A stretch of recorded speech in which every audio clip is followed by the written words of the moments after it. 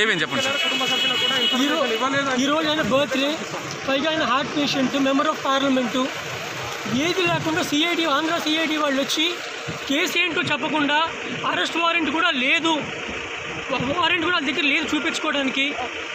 దౌర్జన్యంగా వచ్చి ముప్పై మంది వచ్చి ఒక హార్ట్ పేషెంట్ని అరవై సంవత్సరాల హార్ట్ పేషెంట్ని ఒక మెంబర్ ఆఫ్ పార్లమెంట్ని ఏ పర్మిషన్లు లేకుండా ఎత్తుకుని వెళ్ళిపోయారు. వీళ్ళు అసలు మనుషులా రాక్షసులా అర్థం కావట్లా? కారణం ఏంటి? అండ్ సుప్రీంకోర్టు రీసెంట్గా రూలింగ్ ఉంది కరోనా టైంలో ఊరికి అరెస్టులు చేయకూడదని. అసలు కేసు ఏంటో చెప్పకుండా వారెంట్ కూడా లేకుండా అరెస్ట్ చేసి పడేస్తారా? తీసుకెళ్ళిపోతారా? వేరే స్టేట్లోకి వచ్చి? ఏంటి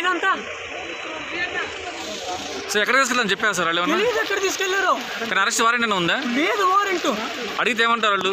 గొడవ చేసి దౌర్జన్యంగా తీసుకెళ్ళిపోయారు.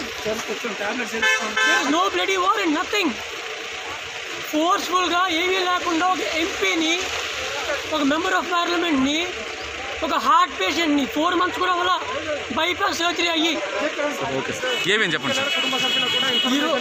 ఈరోజు ఆయన బర్త్డే పైగా ఆయన heart patient member of parliament ఏది లేకుండా సిఐడి ఆంధ్ర సిఐడి వాళ్ళు వచ్చి కేసు ఏంటో చెప్పకుండా అరెస్ట్ వారెంట్ కూడా లేదు. వారెంట్ కూడా వాళ్ళ దగ్గర లేదు చూపించుకోవడానికి. దౌర్జన్యంగా వచ్చి ముప్పై మంది వచ్చి ఒక హార్ట్ పేషెంట్ని అరవై సంవత్సరాల హార్ట్ పేషెంట్ని ఒక మెంబర్ ఆఫ్ పార్లమెంట్ని ఏ పర్మిషన్లు లేకుండా ఎత్తుకుని వెళ్ళిపోయారు.